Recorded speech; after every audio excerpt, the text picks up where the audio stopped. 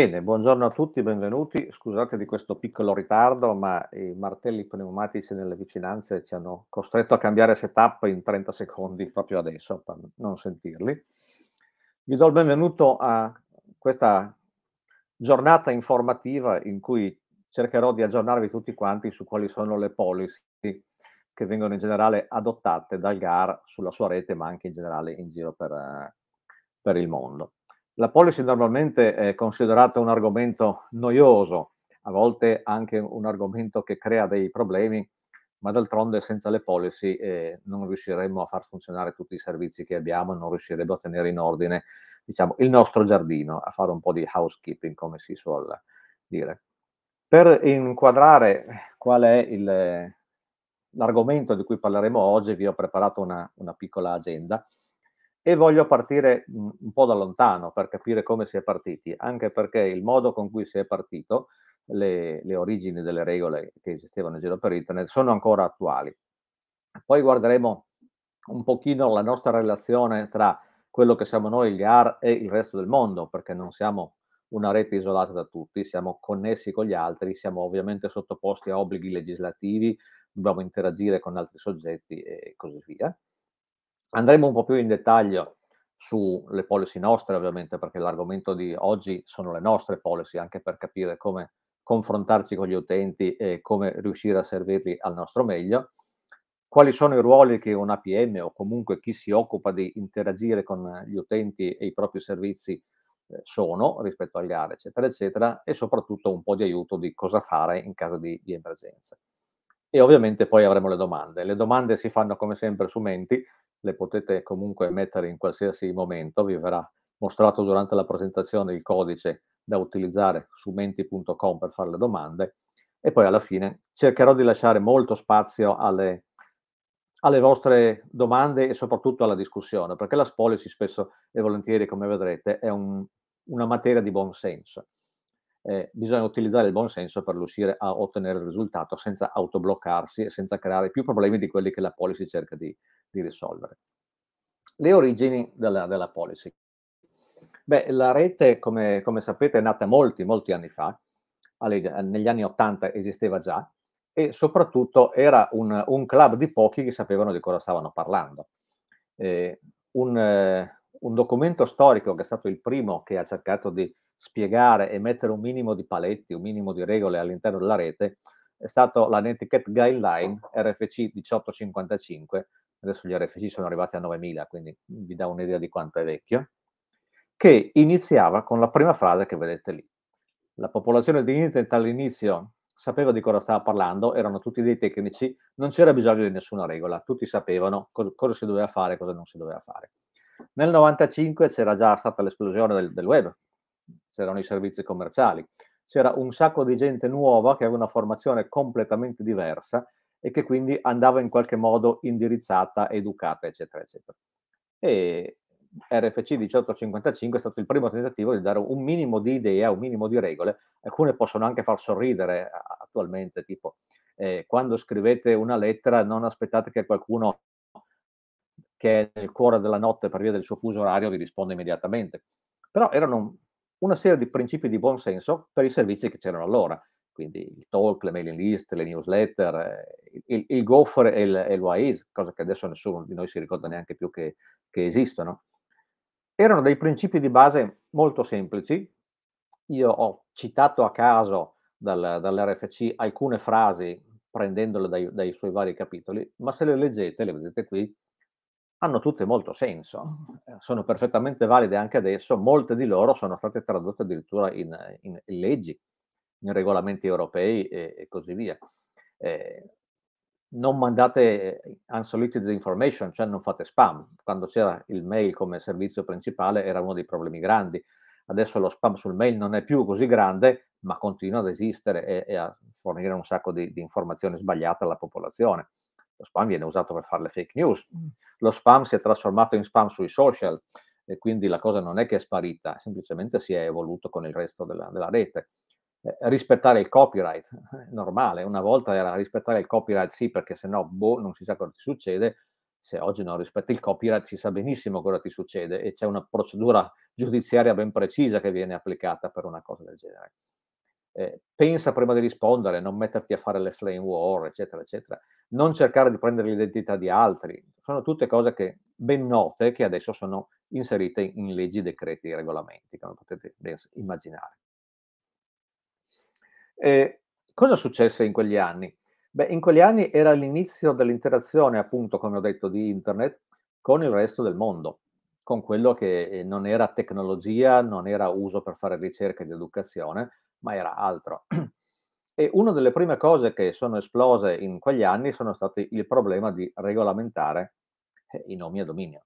L'Italia è stata uno dei primi paesi nel mondo che si è data un regolamento interno per permettere di fare un po' di ordine, perché prima il nome a dominio era semplicemente chiunque scriveva a chi gestiva il DNS top level del, del paese, o quelli generici che erano com, edu e così via, chiedeva il nome, glielo registravano e finiva lì. Non, non succedeva niente altro. E nel momento in cui c'è entrata il, la parte commerciale di internet, i guai sono cominciati ad arrivare. E lì io ho citato un, un, esempio clamoroso che, come alcuni di voi che hanno una certa età forse si, si, possono ricordare, è andato avanti per più di un anno e mezzo finché non, non è stato sistemato in maniera giudiziaria eh, il caso del dominio armani.it. Armani.it eh, non era il, lo stilista, era un povero signore che aveva una ditta che faceva tutt'altro, che però si chiamava Armani e l'aveva registrato. Lo stilista gli fece causa dicendo violazione del marchio registrato, eccetera, eccetera, ma anche quell'altro aveva il marchio Armani perché era la sua ditta. e mancanza di equivalenza L'equivalenza non si sa, vale più quello famoso? Non si sa. Alla fine un anno e mezzo di, di disputa in tribunale ed è stata tirata fuori una, una sentenza. Eh, non, non, entro nel merito della sentenza, ma era evidente che c'era la necessità di fare una legislazione. Non bastavano più le policy del DNS, perché il DNS non, non dice chi è che può scrivere armani.it sul proprio, sul proprio sito web, non gliele può importare di meno. Quindi ci sono stati i primi interventi di legislazione, interventi di legislazione che hanno continuato nel tempo. Eh, la domanda che spesso ci facciamo è il legislatore sa sempre esattamente di cosa sta parlando? È in grado di emettere interventi legislativi che poi funzionano e soprattutto non creano guai peggiori di quelli che cercano di, di rimediare? Eh, a volte no. Eh, noi per esempio sappiamo benissimo cosa succede quando arriva un'ordinanza di filtraggio di un determinato sito perché viene ritenuto o illegale o perché non sta pagando le tasse o vende qualcosa che non è ammissibile in Italia e così via. E qual è la procedura che in legislazione si è inventato? Il filtraggio del sito internet, ma noi sappiamo benissimo che non funziona, perché eh, filtrare un sito internet significa filtrarlo su certi DNS server, ma io il DNS server me lo metto dove mi pare e quindi lo bypasso 5 secondi dopo che è stato fatto. Eh, un altro problema di cui bisogna tenere conto, per esempio, è che il legislatore attualmente sta pensando, giustamente, di, di considerare che i server DNS sono un'infrastruttura critica della rete e va assolutamente protetta, perché se non funziona il DNS praticamente non funziona più niente di Internet.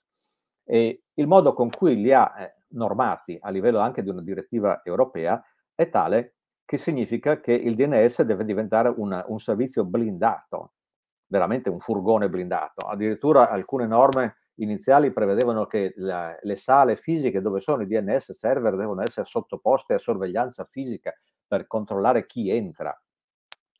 Questo ha senso?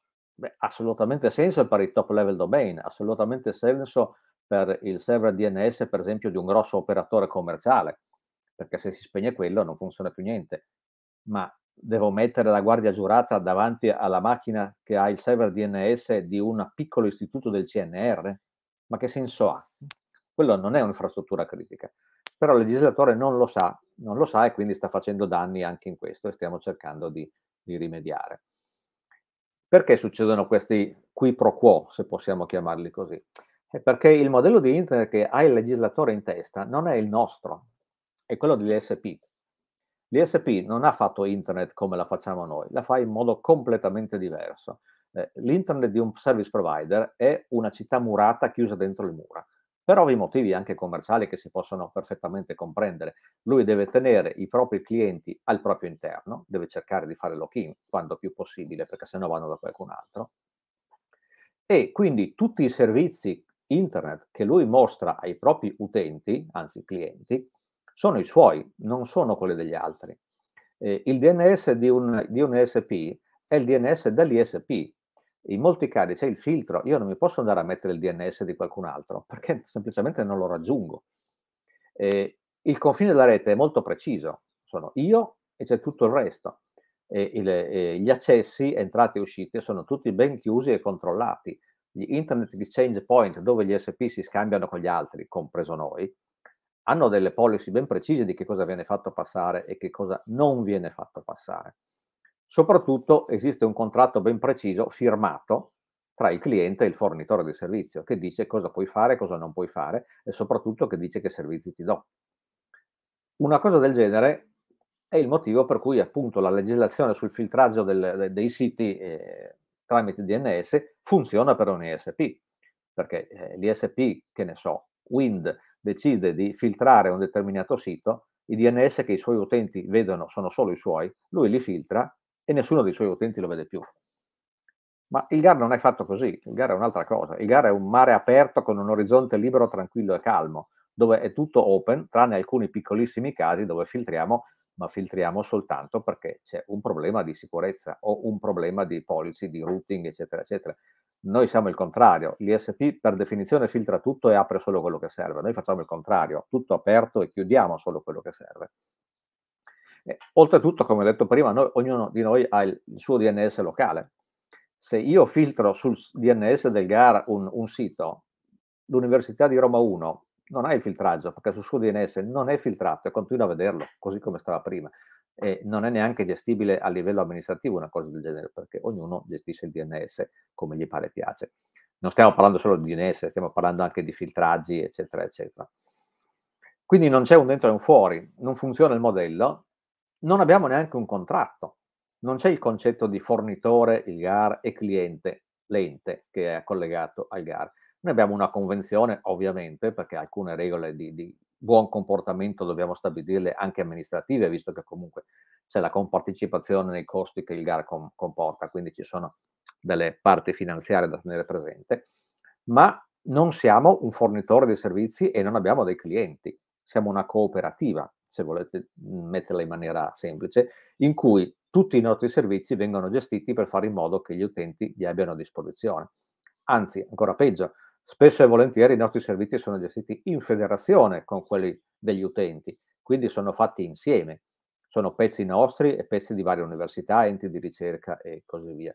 Quindi un modello legislativo che esiste in giro non solo per l'Italia ma per il mondo a noi ci sta estremamente stretto, anzi ci sta di traverso spesso e volentieri, da cui alcune evidenti anomalie che succedono spesso e volentieri perché, eh, perché non può funzionare per, per, come siamo fatti noi.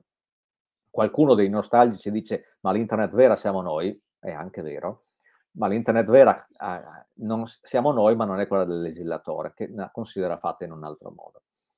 Giusto per chiarirci anche formalmente le idee. Che cos'è il Consortium GAR dal punto di vista legale? Beh, è un'associazione privata, per cui non siamo un ente pubblico, ma riconosciuta, fatta da enti pubblici, di cui lì vedete l'elenco dei soci.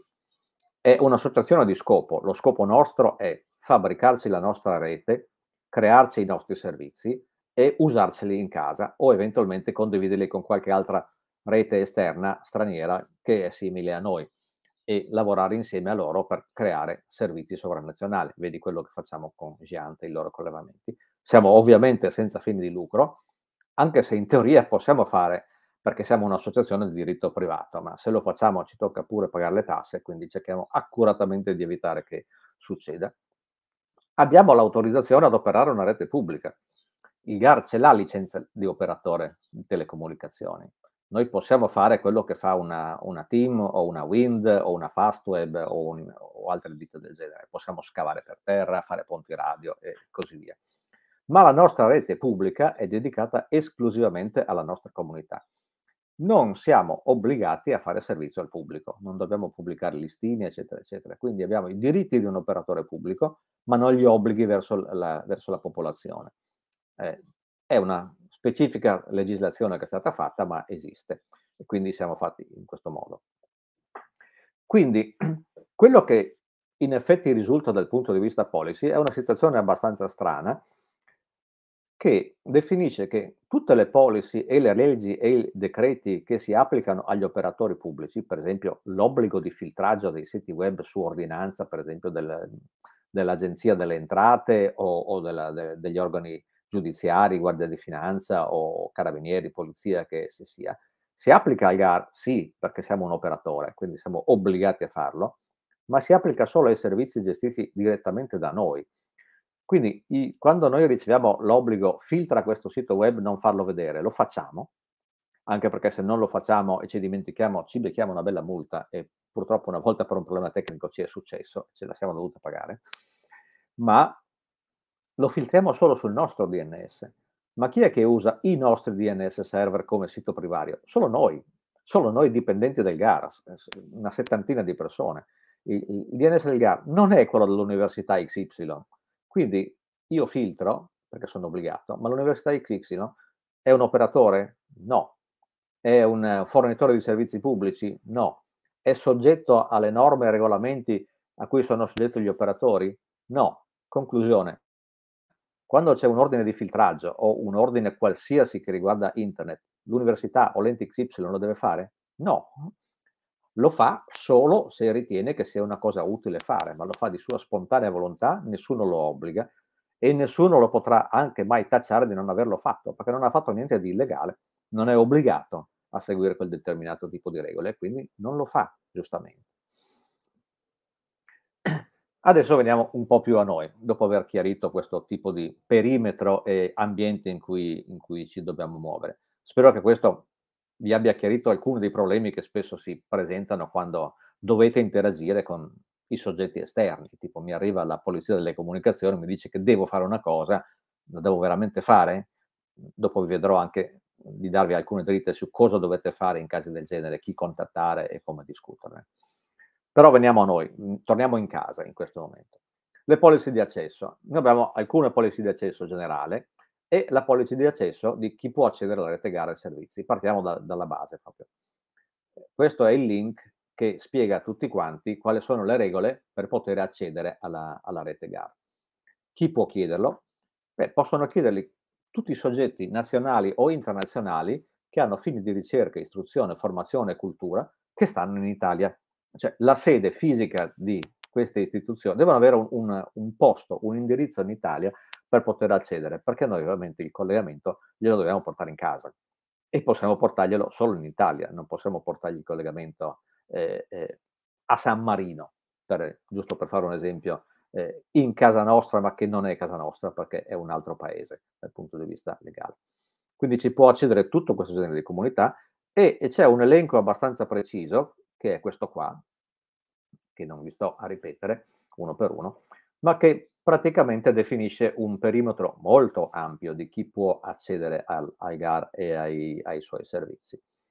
Addirittura, come potete vedere, non sono solo previste le, le, cose classiche di cui potete facilmente immaginare, ma per esempio qualsiasi eh, università o istituzione culturale straniera che ha una sede in Italia può chiedere di accedere al GAR, ne abbiamo tantissime.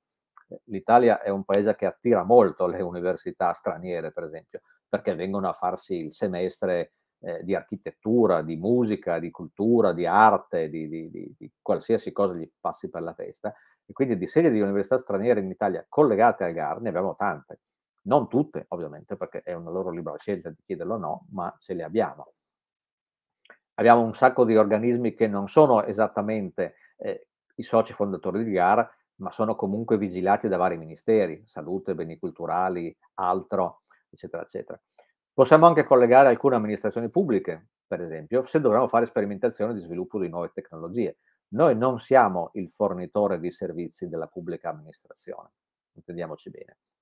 Però se una pubblica amministrazione deve sperimentare qualcosa con noi, lo può fare e che nell'ambito di quella sperimentazione viene collegata a GAR. E, e dopodiché lavoriamo insieme. Lo abbiamo già fatto per esempio nell'ambito della security. Noi abbiamo collaborato con, diciamo che possiamo dire di essere stati il papà del CERT governativo italiano, gli abbiamo insegnato come si fa e poi sono diventati autonomi, li abbiamo sganciati, ma all'inizio erano collegati a noi per imparare come, come si fa. Chiunque abbia un, un interesse rilevante per la comunità scientifica e accademica italiana in realtà può essere collegato, collegato al GAR. E questo non esclude in nessun modo anche realtà che sono realtà profit, realtà industriali di ricerca, realtà che fanno un altro mestiere il cui scopo è avere un profitto alla fine dell'anno. Basta che facciano ricerca e siano impegnate in collaborazioni con qualcuno di noi.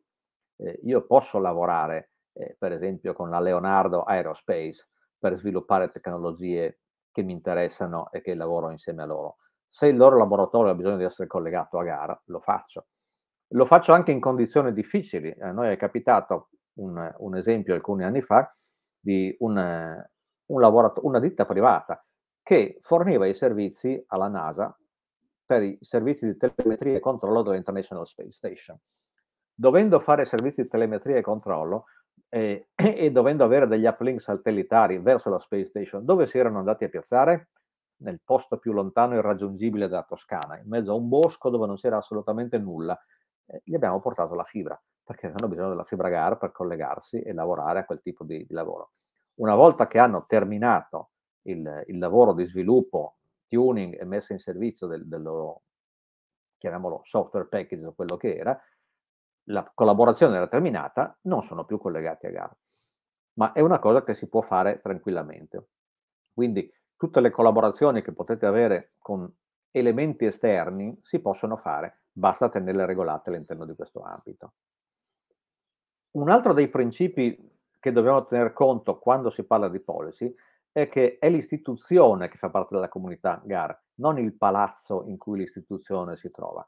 È ovvio che noi colleghiamo fisicamente con una fibra la sede fisica dove l'istituzione si trova, perché non è che abbiamo molti altri modi per farlo, sì, vabbè, wifi, eccetera, ponti radio, una sede fisica dobbiamo arrivarci per, per dare il collegamento e, e, i servizi, ma non è limitatamente a lì. Un'istituzione ha diritto a usare la rete GAR? Sì, ha diritto a usarla dovunque le sue attività si stiano svolgendo.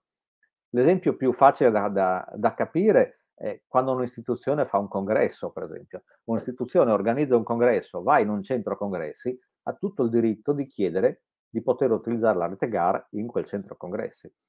Ovviamente se ci sono delle, delle spese fisiche da sostenere monetarie per riuscire a portare il collegamento in quel centro congressi, eh, l'istituzione le dovrà in qualche modo coprire e sostenere, ma lo può tranquillamente fare. Ci sono tantissimi convegni annuali che si svolgono in posti che non sono sedi fisicamente collegate a GAR, che vengono collegate in temporaneo per permettere all'istituzione di svolgere lì la sua, la sua riunione, il suo convegno, la sua conferenza e, e così via. Alcune di queste sedi sono addirittura collegate in modo permanente, ne abbiamo almeno un paio in Italia, perché ci vanno talmente spesso che abbiamo deciso di portarci la fibra e basta accendere e spegnere quando, quando serve.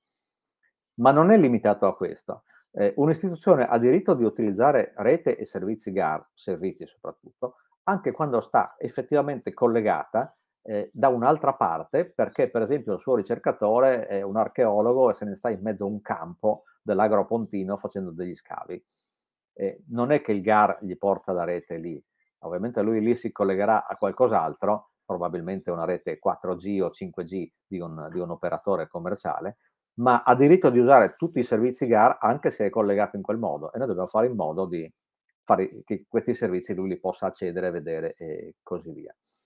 Quindi è da, da contattare GAR ogni volta che ci siano dei casi particolari per permetterci di definire come fare, come servirli e soprattutto fare in modo che eh, l'operatore che è sul, sul campo, nel caso sia un operatore diverso da noi di mezzo, sia in grado di diventare trasparente e fare in modo che i nostri servizi glieli possiamo portare.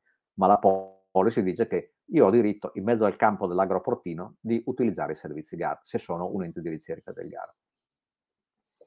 Un altro punto un po' più delicato, rapporti con gli esterni, eh, uno dei principi che vedremo dopo delle AOP dice molto chiaramente la rete e i servizi non sono trasferibili a terzi. Io non posso dare i miei servizi GAR a qualcuno che non è legalmente me stesso. E purtroppo è un argomento scivoloso e delicato perché molte istituzioni, soprattutto università, ma non solo, fanno ovviamente un sacco di collaborazioni, creano al loro interno altre strutture che per motivi anche spesso solo di riuscire a fare un progetto finanziato, che ne so, dall'Unione Europea o da altri, devono avere un'entità legale autonoma, creano dei consorzi, eccetera, eccetera. Ma questi oggetti non sono l'istituzione, quindi dal punto di vista policy e formale questi oggetti non hanno il diritto di collegarsi al GAR finché non ne fanno richiesta e finché non si regolarizzano. Spesso e volentieri sono semplicemente tre uffici sistemati all'interno del palazzo sede dell'istituzione tal dei tali che in qualche modo hanno un cappello legale diverso.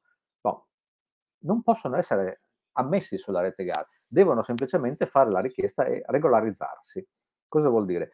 Che noi dobbiamo sapere che esistono, che si stabilirà una convenzione anche con loro. Dobbiamo sapere che esistono per motivi molto pratici, soprattutto di gestione dei problemi di sicurezza, perché se succede qualcosa provocato da una di queste eh, istituzioni non registrate, eh, noi la polizia postale la mandiamo all'istituzione che li sta ospitando e poi se la deve vedere lei di dimostrare che non erano suoi dipendenti, ma quelli di quel consorzio piccolo che avevano formato per il progetto XYZ e così via. Quindi noi dobbiamo sapere che esistono, devono fare una convenzione con noi, dopodiché nell'ambito della convenzione si discutono anche gli aspetti economici, ovvero sia spesso e volentieri è l'istituzione ospitante che si occupa di fornirgli tutto, eh, barba e cappello servito in piatto d'argento e pagargli anche i costi, ma dal punto di vista formale devono essere presenti e dichiarati. Quindi se a qualcuno di voi che mi state ascoltando in questo momento viene il sospetto di avere, e probabilmente ce li avete, qualcuno di costoro in casa, eh, contattateli e contattateci, così sistemiamo la cosa dal punto di vista formale e non abbiamo problemi dal punto di vista amministrativo e anche eventualmente di, di sicurezza. Hanno quasi tutto il diritto di accesso senza il minimo problema, però lo dobbiamo sapere, dobbiamo regolarizzarli, non possiamo avere clandestini a bordo come ogni tanto scopriamo di avere e li scopriamo per caso, perché giustamente in buona fede ci vengono a dire eh, io devo fare questo, non mi sta funzionando. La domanda del nostro NOC, per esempio, è ma te chi sei? Eh, sono questo, che indirizzo IP hai? Non è il tuo indirizzo IP, è quello dell'università XY, che ci fai qua? E vabbè, poi dopo regolarizziamo, ma non, non facciamolo per favore, soprattutto non facciamolo dall'inizio, quando create una startup, per esempio, ce lo dite dall'inizio e regolarizziamo non è un problema, ma non, non, è bello scoprirlo dopo anche perché è molto più lavoro, molta più fatica e così via. Veniamo ai principi generali, che una volta erano dei bellissimi dieci comandamenti, non ci stavamo più in dieci, siamo, adesso sono gli undici comandamenti. Vabbè, non, non suona più bene come prima, ma sono quelli su cui basiamo tutte le nostre operazioni, tutto il nostro lavoro quotidiano del, del, dell'amministrazione di GAR, rete, servizi, e, così, e utenti soprattutto. Sono dei principi che nel momento in cui andate a leggerli vi fanno immediatamente venire in mente quelli che ho citato nella prima slide, i principi di buon senso della, della Netiquette Guidelines, perché è da lì che vengono, non è che ci sia da inventarsi delle cose particolari. Sono definizioni, sono dei ruoli precisi, danno dei casi anche, degli esempi, ma poi io vi darò degli esempi concreti giusto per capire ancora, ancora meglio cosa sta succedendo, e in base a questi principi è il modo con cui noi funzioniamo. Funzioniamo come comunità, come gestione dei servizi della rete e così via.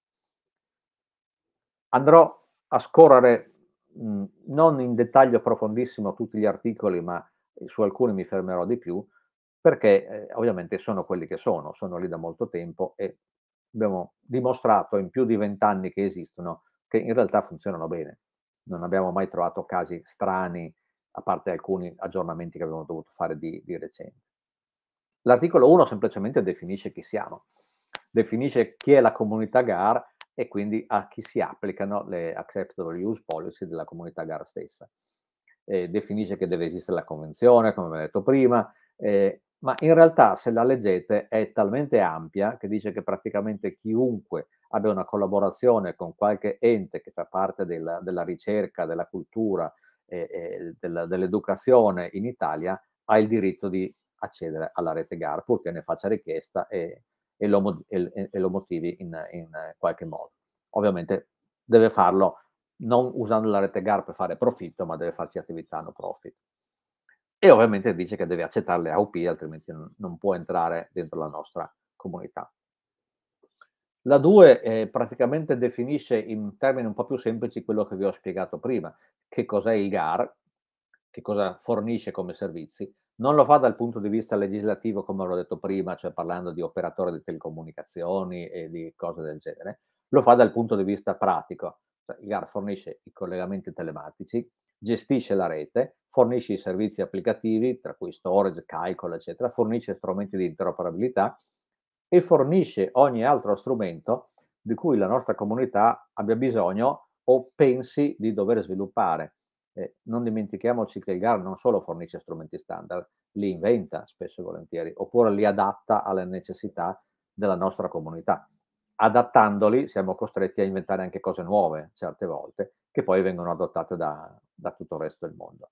Io qua sotto ho messo un po' di loghi dei nostri servizi, non sono tutti, sono molti di più, ma tanto per intenderci, eh, GarTV è un servizio che ci siamo inventati noi, non perché le, le, streaming television su web non esistano e non li abbiano inventati gli altri, ma GarTV è fatto in un modo molto diverso dalle altre cose. Fa sì lo streaming server e, e il web e il video on demand per, per, per, i nostri istituti, gli dà un canale dedicato e così via, ma fa un sacco di altre cose che nessun altro fa. Per esempio è in grado di fornire dei, dei canali, delle zone dedicate dove per esempio la privacy e la protezione dei dati è altissima, perché sono zone in cui per esempio si fa ricerca medica e i pazienti sono dei minorenni. Eh, esistono, non, YouTube non vi fa una cosa del genere, noi sì. Eh, quindi esistono delle policy particolari per questo tipo di servizio, ma sono aperte a tutti e funzionano. Quindi questa è la definizione del, del nostro perimetro. Il numero 3 è quello su cui spesso e volentieri andiamo a discutere e in cui chi deve poi gestire i rapporti con gli utenti o la sicurezza deve andare spesso a leggere per controllare che stiamo facendo delle cose autorizzate oppure no. È talmente lungo che ho dovuto farlo in, in, in due slide, però diciamo che il, il riferimento assoluto a cui guardare quando ci viene qualche dubbio se una cosa che stiamo facendo si può fare oppure no. Da prima ho già parlato, non si può dare rete e servizi a chi non è autorizzato. E questo è chiarissimo. Non si può fare housing, non si può fare hosting, non si può dare dati o informazioni sulla rete, eccetera, eccetera. Non si può fare il third party routing, non posso permettere a uno che sta dietro di me, perché non è vietato, per esempio, fare un peering con qualcuno che non ha accesso alla rete GAR. Io posso collegarmi con l'azienda Paperino che fornisce servizi alla mia università, per esempio, e fare un collegamento diretto. Ma Paperino deve parlare con la mia università, ma non deve uscire sul link del gara, deve uscire per i suoi link.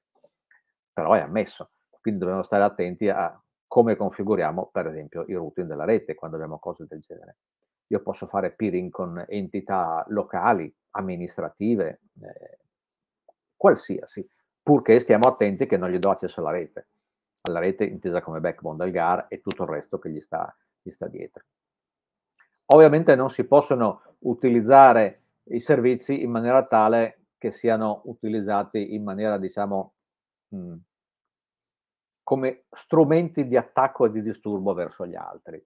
Eh, questo articolo è stato scritto molti anni fa, parla ancora di collegare oggetti strani alla rete che non erano, erano i tempi in cui mh, mm, esistevano degli oggetti, anche hardware, che se collegati alla rete spesso e volentieri non rispettavano i protocolli, oppure li rispettavano nella maniera sbagliata, per cui succedevano dei grossi guai alla gestione della rete stessa. Adesso questa cosa non succede quasi più, ma il principio è rimasto lo stesso.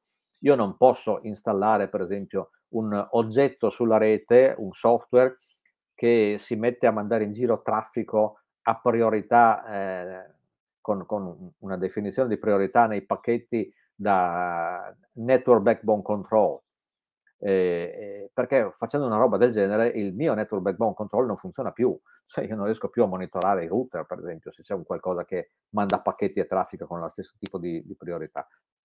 una cosa del genere è molto grave, a volte succede eh, in maniera inconscia perché purtroppo alcuni produttori di software, eh, eh alcuni anche molto famosi, eh, hanno, hanno, installato nei loro software stessi eh, una opzione, per fortuna eh, disabilitata di default, che se però viene attivata fa cose del genere.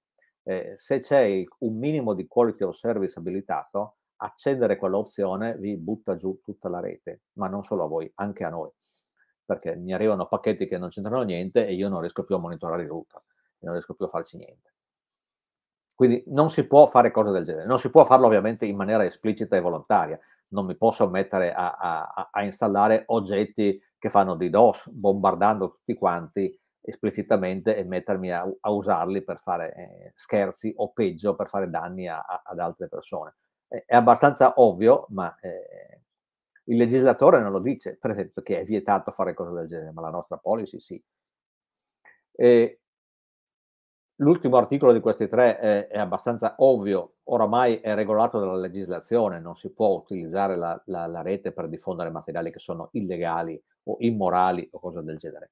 Quando è stato scritto non c'era ancora, non l'abbiamo tolto perché ovviamente deve rimanere lì, ma non è che posso utilizzare la, la rete per postare i film porno o, o, o, o per mettere, eh, parlare di, di, di, di politica in maniera non ammessa e così via. Se devo parlare di politica lo posso fare? Sì, se sono un istituto che si occupa di scienze politiche e, e, e area relativa.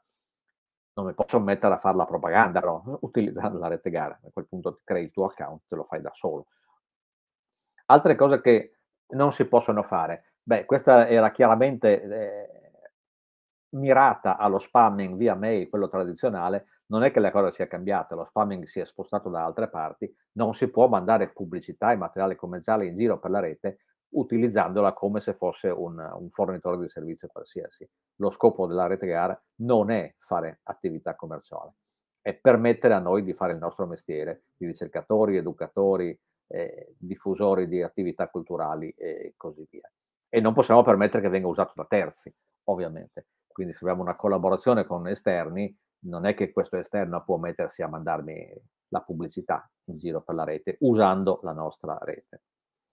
Eh, il principio successivo beh, è, stato, è stato sistemato da GDPR, privacy e dintorni, ma esisteva già prima. Ovviamente i dati personali e le password, i, i, dati riservati, eccetera, eccetera, non si possono rubare, danneggiare o distruggere. Noi abbiamo in aggiunta il distruggere, da noi viene considerato un problema anche distruggerli, non solo eh, rubarli e utilizzarli a scopo terzi. Quindi abbiamo anche il dovere di proteggere questo tipo di informazioni quando sono immagazzinate sui nostri server, sulla nostra, sulla nostra rete.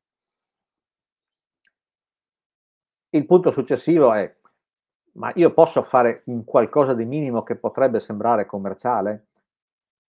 Non è assolutamente vietato. Le, I principi di uso del GAR, come ho detto all'inizio, si basano sul buon senso.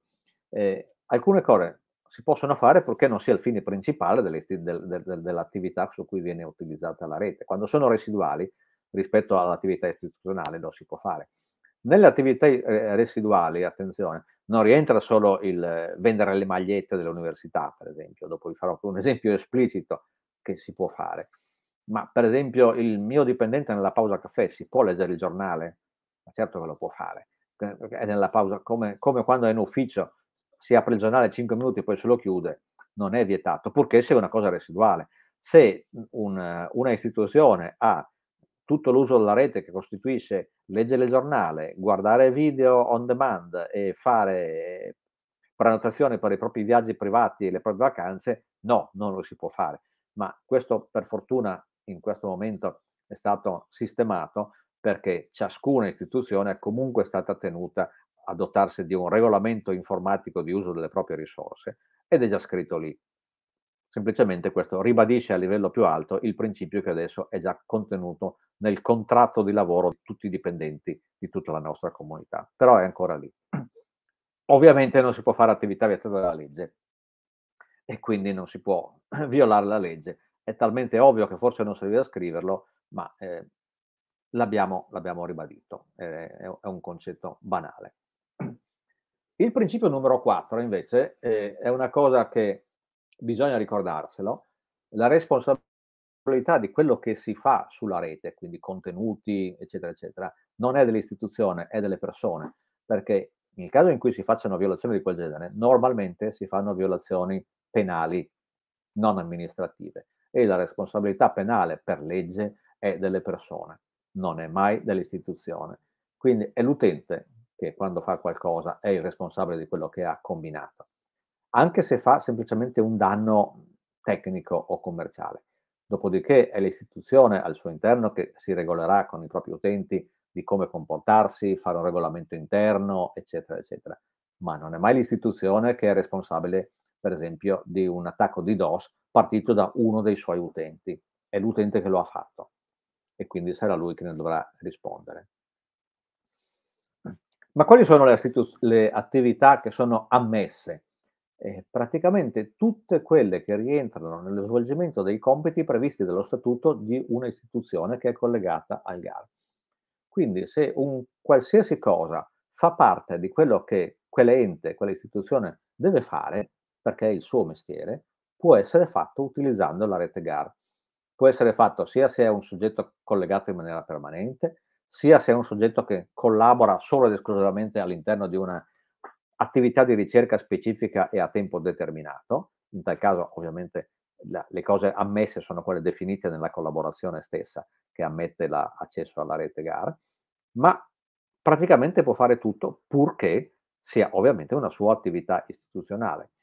Se eh, eh, una università ha come scopo, per esempio, invitare la popolazione a una serie di seminari formativi, eccetera, eccetera, in cui per qualche motivo chi viene al seminario accede alla rete, questi privati cittadini che vengono al seminario la possono usare la rete GAR perché fa parte della, della parte di, di, istruzione che loro stanno utilizzando. La possono usare ovviamente quando stanno nella sede e stanno seguendo il corso, non possono andarsene lì e decidere adesso vado a vedermi la partita in streaming e mi collego al GAR.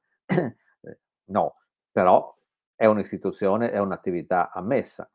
E qui sconfiniamo anche nel campo di attività che sono borderline per quel che riguarda la legalità non sono, non sono illegali, ma sono borderline perché, per esempio, molte istituzioni fanno ricerca esattamente mirata per eh, studiare i casi di uso e attività nascoste o illegali della rete.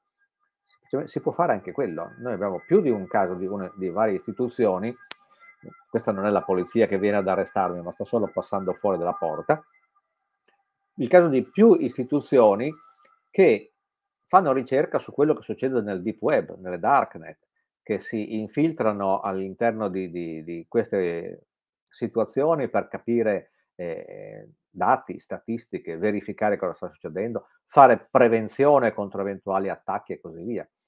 Eh, lo fanno dietro approvazione, ovviamente.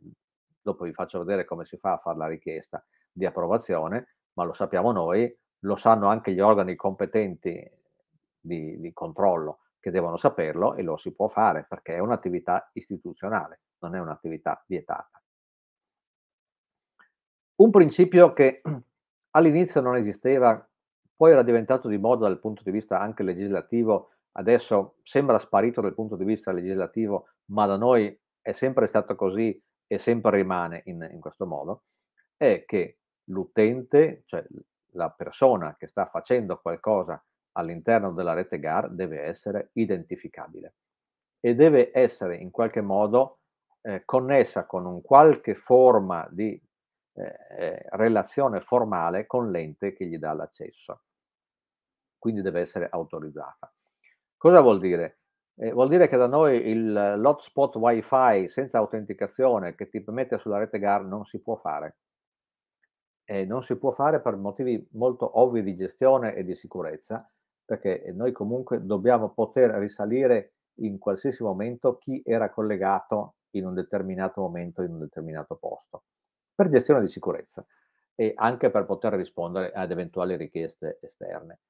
Non siamo più obbligati a farlo per legge come una volta eh, era, al, per esempio ai tempi del 2005-2009, era per legge, non si poteva collegare nessuno a un wifi senza essere identificato con bolli, timbri, carte d'identità, non è così basta che sia possibile risalire all'identità di chi era collegato in quel momento. Come?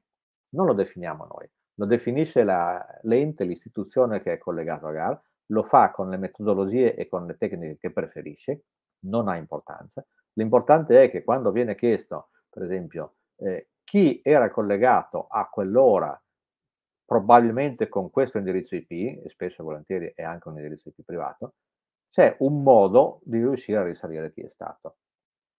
Ovviamente voi mi direte, ma EduROM, EduROM è regolamentato al suo interno per questo. Se io ho l'ospite eh, finlandese che in qualche modo crea qualche guaio e dobbiamo capire chi è stato, eh, non è che tu devi sapere chi è lui, nome e cognome, ma tu dentro i tuoi log del radius di EduROM sai un identificativo e poi EduROM ha la sua procedura per trovare esattamente chi è stato in Finlandia, cioè risalendo all'istituzione madre della persona che aveva le credenziali. La cosa importante è che comunque l'identificabilità per noi esiste ancora e continuerà ad esistere, è uno dei principi su cui si basa la, la rete proprio. Non si va sul GAR in modo a, no, anonimo e senza essere autorizzati. Dopodiché chi può essere iscritto chi può avere l'accesso alla rete lo definite voi. Una delle domande iniziali è ma gli studenti li posso mettere sulla rete gara? Sono i tuoi studenti e tu sei un, un, un, soggetto autorizzato che fa educazione, certo che li puoi ah, fare accedere alla, alla rete GAR, fa parte delle tue attività istituzionali, sono tuoi utenti e quindi li fai accedere. Il collaboratore volontario che lavora presso di me eh, senza percepire stipendio può accedere alla rete GAR se c'è perlomeno uno straccio di lettera di incarico o di collaborazione, che definisce che sta lavorando per te, sì, lo può fare. Chi non lo può fare è mia zia che si presenta in, un, in un'università e cerca di collegarsi al wifi. Ecco, no, non, non lo può fare. O va nella biblioteca pubblica dove chiunque può andare dell'università e, e, e, cerca di collegarsi alla rete. Lui no, lui non si deve poter collegare al GAL perché non sappiamo chi è, soprattutto, non perché non lo deve fare, per, per questo principio.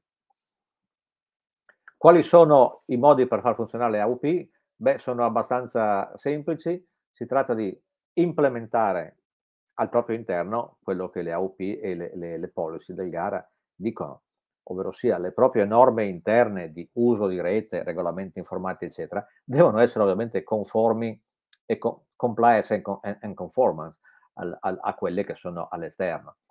Quindi le norme interne vostre possono sicuramente essere più restrittive, avete tutto il diritto di farlo, e definire che non si possono fare altre cose, ma non possono permettere di fare cose che le AOP non permettono.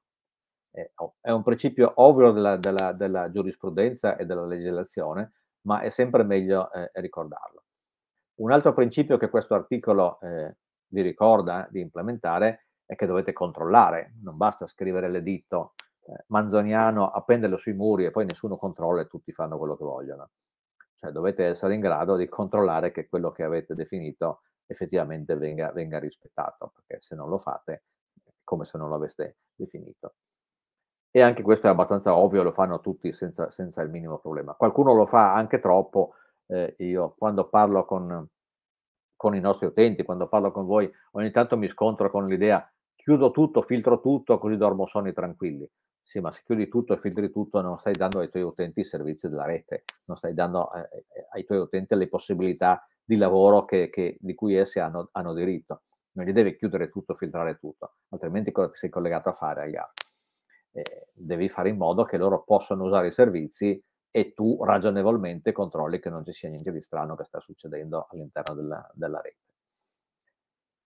Altra cosa che non è semplice sicuramente, ma che va assolutamente fatta, è che all'interno della vostra istituzione o ente li dovete far conoscere i principi che devono venire rispettati per utilizzare la rete gara, eccetera, eccetera. Lo so che spesso e volentieri l'utente non sa neanche che cos'è il GAR, pensa di essere attaccato a internet, una roba generica, boh, forse pensano di essere attaccati a Google e cose del genere. E succede anche per emeriti professori ordinari universitari. Mi è successo non più di un paio di mesi fa di dover dire a una persona, ma lei lo sa che è collegato al GAR?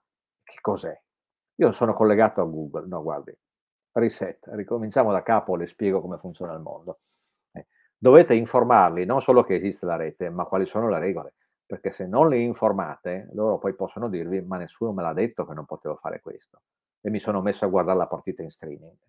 Lo, regolamento di uso delle risorse informatiche ha messo una grossissima pezza anche a questo problema, ma se glielo dite una volta in più sicuramente non gli fa male. Soprattutto se glielo dite non come un regolamento che vi arriva dall'alto ed è imposto, ma per spiegargli che siamo lì per aiutarli, che se gli serve di fare qualcosa non devono cercare di farlo di nascosto, basta che chiedere, probabilmente si può fare e gli organizziamo la cosa.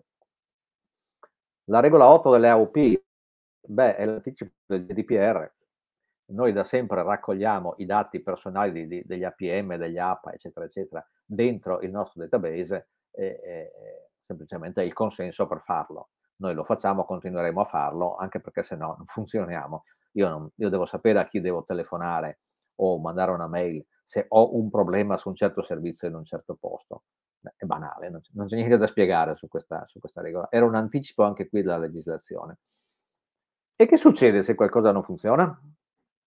E qualcuno mi ha detto, beh, il forbicione che taglia il cavo dovevi metterlo all'inizio. Ho detto, no, non lo metto all'inizio. Il, forbicione che taglia il cavo è proprio l'ultima spiaggia a cui ricorro o cui ricorriamo se proprio non c'è niente da fare e non riusciamo a risolvere il problema in, in nessun altro modo il, il, giudizio insindacabile di cosa fare ovviamente eh, viene stabilito da questa regola è del GAR. N- non è che si deve andare ad arbitrati o ad altre cose del genere. Normalmente è talmente improbabile e difficile che si arrivi al taglio il cavo. Quello a cui si arriva normalmente è ok, hai una macchina che non riesce a tenere sotto controllo e sta facendo grossi guai a tutti gli altri, ti filtro la macchina finché non me la sistemi. Purtroppo abbiamo migliaia di indirizzi IP filtrati da un sacco di tempo, di cui nessuno si occupa mai perché stagli dietro. Posso capire che è un, un, un compito piuttosto gravoso da parte di chi deve correre dietro ai propri utenti. Però io vorrei avere quell'elenco corto e di durata molto breve. Filtro una macchina per due settimane, dopodiché la macchina viene sistemata e gli tolgo il filtro non che ho filtri attivi da 5 anni e nessuno si occupa di quella macchina, perché tanto non fa più problemi, è filtrata. Purtroppo in alcuni casi, e ne stiamo trattando uno da molto tempo e ne abbiamo trattato anche ieri, eh, ci sono dei problemi con la istituzione che è collegata alla rete gara e, e in questo caso stiamo andando molto vicini al taglio del filo col forbicione, perché se l'istituzione dopo solleciti, avvisi, offerte di collaborazione, eccetera, eccetera, per motivi suoi interni che non voglio nemmeno sapere, non è in grado di rispettare le AOP e continua a produrre soprattutto danni alla rete e agli altri, prima o dopo si arriva al taglio del filo. Non l'abbiamo ancora fatto, ma potrebbe succedere molto a breve in questo caso. Sarebbe il primo caso da quando esiste il GAR, ma eh, è previsto, quindi sappiate che può succedere non, non è un'utopia che qualcuno vi dice ok, da domani tu sei scollegato dal GAR, arrangiati. È decisione unilaterale da parte nostra per motivati eh, esempi di, di misuso della rete precedenti.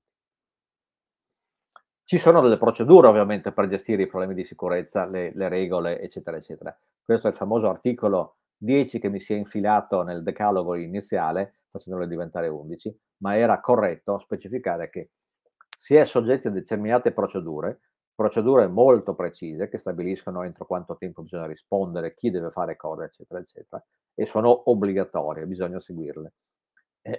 Chiunque di voi abbia avuto un incidente di sicurezza lo sa, funziona così. Bisogna essere in grado di gestire le procedure di sicurezza e ci sono dei tempi precisi.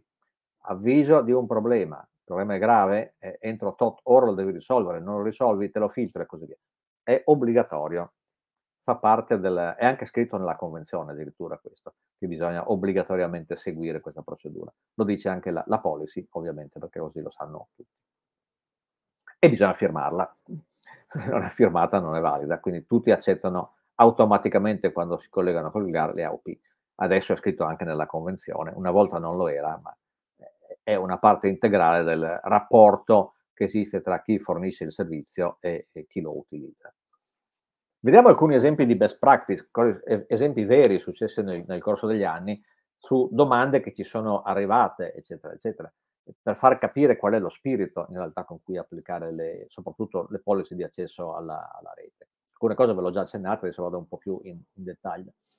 Un po' di anni fa il Politecnico di Torino ci ha chiesto, ma io la mia radio onde quadre, la, che è gestita dagli studenti in maniera autonoma, eccetera, eccetera, gli posso mettere i server sulla rete gara e fargli usare il GAR per fare le loro trasmissioni? Abbiamo cercato di capire che cosa effettivamente facesse. Era un'attività istituzionalmente prevista del Politecnico, permettere agli studenti di imparare a gestire una web radio, trasmettere, eh, gestire contenuti, eccetera, eccetera? La risposta è stata sì. Quindi la nostra risposta è stata sì, certo che la puoi mettere sul GAR. È un'attività istituzionale tua? Sì. Quindi la web radio degli studenti del Politecnico sta sul GAR, e trasmette senza nessun problema. Non è l'unica, perché ovviamente adesso c'è un precedente, tutte le richieste del genere sono auto automaticamente ok, anzi non lo dovete neanche fare la richiesta, sappiate che si può fare, purché sia un'istituzione un'attività istituzionalmente prevista. Altra domanda molto classica, vi ho parzialmente risposto prima, ho un convegno, mi vengono le persone del convegno, gli posso dare il wifi? Eh, se il convegno è una delle tue attività istituzionali, certo che gli puoi dare il wifi, basta che siano identificabili. Non hanno il DUROM perché sono cittadini? Eh, registri i nomi di quelli che sono entrati, fai in modo che inventati un sistema per rendere identificabili e poi dagli l'accesso e fai in modo che quell'accesso ce l'hanno solo per la durata del convegno e non che poi tornano lì a fare qualcos'altro. Ma è perfettamente ammissibile, non stare neanche a chiederlo, fallo direttamente. Altro esempio, di cui qui vi faccio l'esempio esplicito proprio, la sapienza, il merchandising web. Eh, ma posso mettermi a vendere le magliette, i, le bottigliette, eh, i cappellini, eccetera, eccetera? E perché no? Purché sia un'attività che fa parte delle tue cose istituzionali, ha lo scopo istituzionale di raccogliere fondi per far funzionare l'università, è un'attività marginale, non la tua attività principale. Certo che il web shop lo metti sulla rete gara e ci vendi le magliette e i capellini, non è mica proibito, fa parte delle attività perfettamente ammesse perché è quello con cui tu ti sostieni, sostieni in qualche modo anche l'università, perché ci guadagni vendendo i gadget e lo puoi fare. Posso mettermi a fare cose apparentemente eh, al limite della legalità, andando a indagare sulle darknet, infilandomi dentro, eccetera, eccetera. Certo, prima contatti il servizio GarCert. Insieme al GarCert stabiliamo quali sono il perimetro e i limiti della cosa che stai facendo, anche perché potresti eh, diventare un rischio per tutta la rete, ovviamente infilandoti in qualcosa che non è il caso di, di fare, anzi che non, è, che non è normalmente pulito sulla, sulla rete stessa, se è il caso, informiamo anche le relative forze dell'ordine dicendo c'è questa attività in corso, per cui loro non si mettono a indagare direttamente sul tema, lo sanno, anzi si mettono a collaborare con te, ma lo puoi fare. E quindi ci sono tantissimi altri casi di best practice, basta chiedere e buona parte delle volte la risposta è sì, si può fare, se ne discute e così via. Ovviamente ci sono anche state delle clamorose malefatte nel, passa nel passato, quindi cito soltanto tre di quelle più, più diciamo, interessanti che ci sono successe, abbiamo trovato un sito che vendeva scarpe, un vero e proprio negozio di scarpe online, che stava in hosting su un PC di un, di un ufficio di un'istituzione collegata a gara.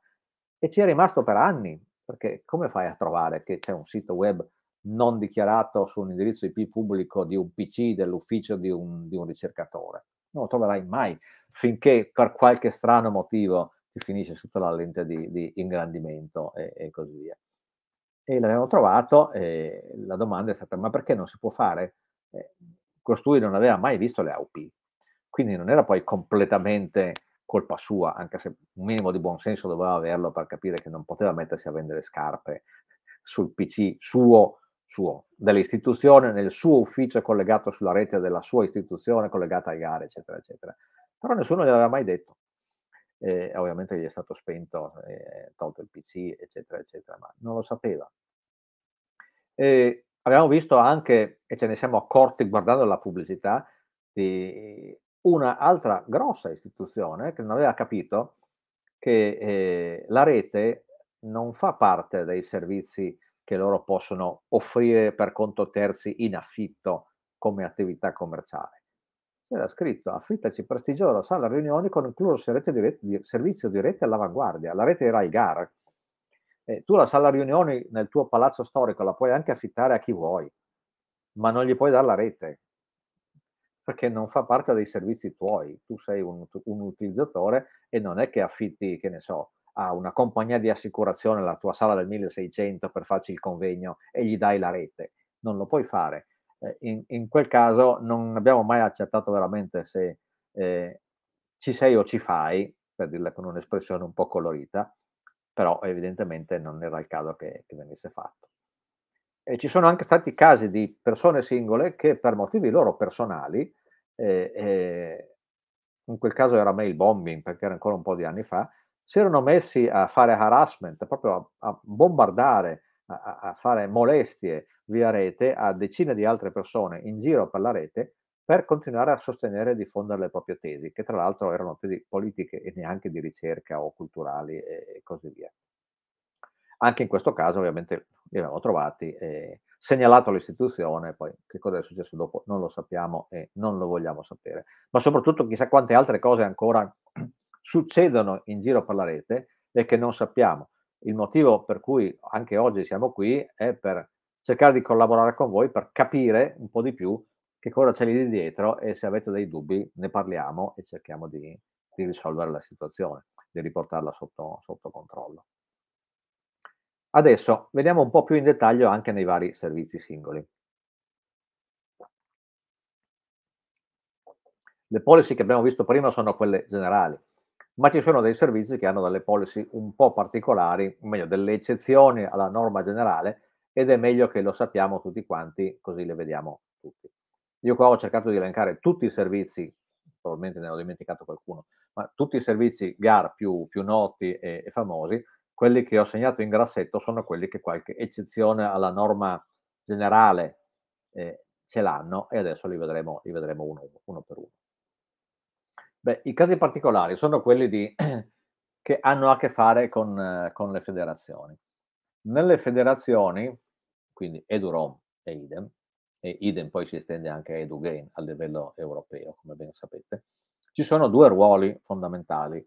C'è eh, quello che è il fornitore di identità, l'identity provider, che è quello che dà ai propri utenti le credenziali che gli permette di accedere a qualcosa, che sia servizio di rete, servizio del, dell'editore, eh, la, il canale di streaming, non importa, ma credenziali per accedere a qualche cosa, e quello che il qualche cosa lo fornisce, cioè le risorse.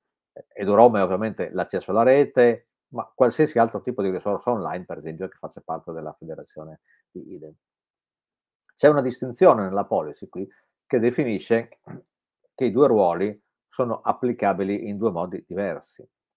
Il fornitore di identità deve necessariamente essere un membro della comunità gara, perché sta dando delle credenziali che gli permettono di accedere a rete e servizi nazionali o internazionali. Quindi la persona che ha queste credenziali diventa un utente e diventando un utente deve poter accedere a tutti i servizi, ma deve averne il diritto, quindi deve poterlo fare. Dall'altro lato, il fornitore di risorse può essere chiunque vuole mettere a disposizione le proprie risorse. A disposizione di chi? A disposizione della comunità GAR, perché siccome le credenziali di accesso le hanno solo i membri della comunità GAR, chiunque non sia della comunità che mette a disposizione risorse delle federazioni nostre, le mette a disposizione di tutti i nostri senza sapere chi sono, spesso e volentieri, perché le federazioni sono fatte anche per preservare l'anonimità e quindi per preservare i dati personali. È abbastanza ovvio nel caso di IDEM, perché l'editore che mette a disposizione i suoi servizi per consultare i giornali o, o, o qualche altro servizio qualsiasi che viene acceduto tramite IDEM, normalmente lo fa anche per i suoi scopi anche commerciali. Per esempio, gli editori accettano di utilizzare IDEM come sistema di autenticazione per entrare, ma non è il sistema di autorizzazione. L'autorizzazione c'è se l'istituzione ha pagato l'abbonamento a quei giornali. C'è un livello successivo poi per riuscire a leggere il giornale scientifico a cui ci si, ci si vuole accedere usando, usando IDEM. Eh, Edurom è un po' più semplice ovviamente perché io metto a disposizione la mia rete a tutti quelli che appartengono a GAR e ci sono esempi anche molto chiari e molto storici, quello che vedete lì è un cartello fotografato in una strada di Trieste dove la rete wifi di tutto il comune da anni supporta Durom. Quindi tutti quelli che hanno Durom in tasca si agganciano alla rete del comune e poi hanno, hanno internet senza nessun problema. non è il solo esempio, cioè in giro per, per il mondo ci sono, per esempio, oramai centinaia di casi del, del genere, tipo tutti gli aeroporti della Scandinavia c'è Durom, fornito dalla ditta equivalente all'ENAC eh, scandinava che gestisce gli aeroporti. Quindi, mettere a disposizione le proprie risorse lo può fare chi vuole, purché sappia che lo sta mettendo a disposizione gratis o non gratis, ma determinato, in base a un determinato contratto successivo, agli utenti che hanno quelle credenziali, quindi agli utenti del, del GAR. Gli alert di sicurezza è un altro servizio che noi diamo ovviamente alla, a tutta la nostra comunità, ma non è che li diamo solo alla nostra comunità. Sulla lista di security distribution degli alert del GAR CERT ci sono centinaia di persone, anche singoli individui o istituzioni, che non c'entrano niente col GAR, ma che sono lì e ricevono i nostri alert di sicurezza e che noi consideriamo una cosa perfettamente sensata perché più persone sanno che c'è un problema di sicurezza e meno il problema è grave. Per cui, per esempio, iscriversi al, agli alert di sicurezza del GARCERT è aperto a chiunque, dovunque esso sia e che qualsiasi mestiere faccia e da qualsiasi paese provenga. Quindi non è limitato come servizio alla, alla rete GAR. Quindi è un, un esempio molto simile a quello di Mirror che vedremo dopo. La videoconferenza. Noi abbiamo da poco tempo messo insieme un portale che riunisce tutti i nostri servizi per semplificare la vita all'utente che deve fare un qualsiasi attività in, in videoconferenza. Alcuni di questi servizi sono servizi riservati a noi, web meetings, vconf, audioconf e bluemeet. Per poterci accedere devi essere un membro della comunità GAR perché se no per prenotare una stanza su questi servizi non, ci, non lo puoi fare, devi autenticarti con IDEM. Attenzione che è solo chi prenota che deve essere un membro della comunità GAR. Chiunque altro partecipa poi alle attività che in quella stanza di videoconferenza vengono fatte non deve necessariamente essere un membro della comunità gara, può essere chiunque, ma veramente chiunque. Ma uno dei membri, quello che apre la stanza e la prenota, è del GAR. Dopodiché è sua responsabilità se quella stanza la usa per fare la festa di compleanno del figlio, che non si può fare, o per fare una riunione internazionale in cui c'è di tutto e di più che si può fare. Ma una delle persone è del GAR, quindi almeno uno di noi, comunità, deve essere lì dentro. Altri servizi invece sono completamente aperti.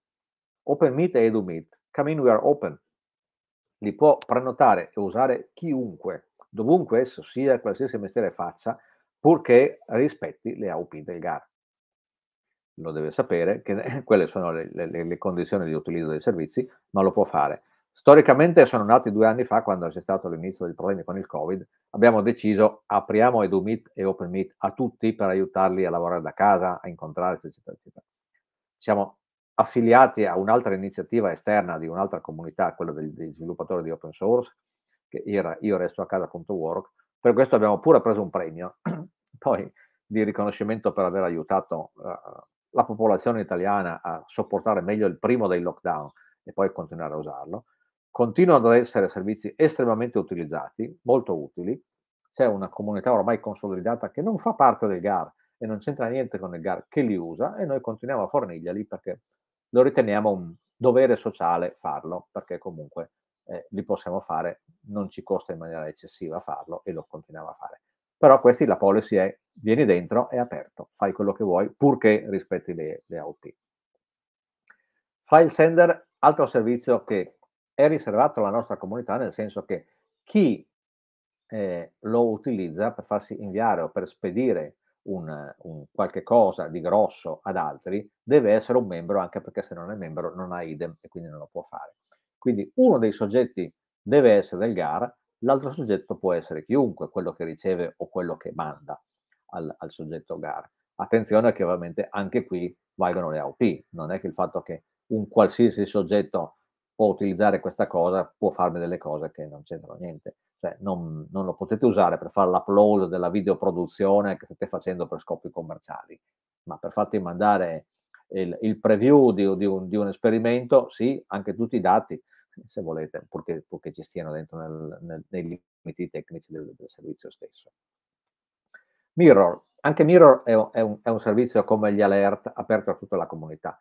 Ovviamente i contenuti di Mirror li decide il GAR perché devono essere approvati e devono essere un qualche cosa che può essere utile alla nostra comunità per utilizzarlo. Eh, avere un mirror server non è più così utile come era all'inizio perché oramai la banda della rete è tale che si può anche scaricare direttamente dall'origine senza bisogno di andare vicino a casa.